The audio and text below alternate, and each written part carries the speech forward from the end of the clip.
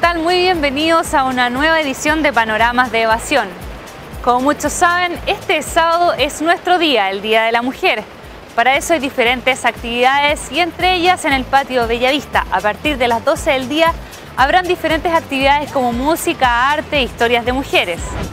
Habrá muestras de cerámicas, telares, óleos y una clase de yoga que será a las 12 del día. Mientras que a las 20.30 tocará el dúo Sandy Rose que presenta sus versiones de clásicos de los 60 y 70 de artistas como Nina Simone, The Ronettes y Nancy Sinatra.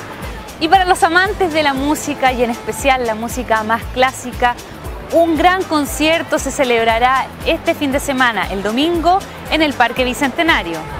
Amor sin barreras, West Side Story en concierto se presentará de forma gratuita a partir de las 20 horas en el Parque Bicentenario.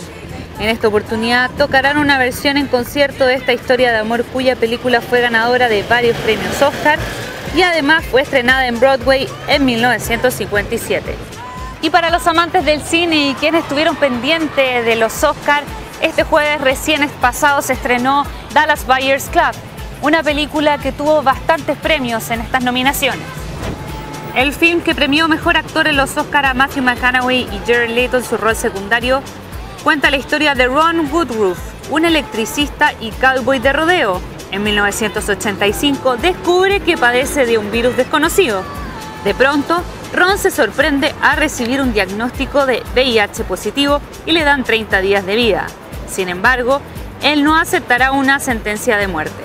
Diferentes panoramas para todos ustedes para que aprovechen este fin de semana. Nosotros nos vemos en una próxima edición aquí en Panoramas de Evasión.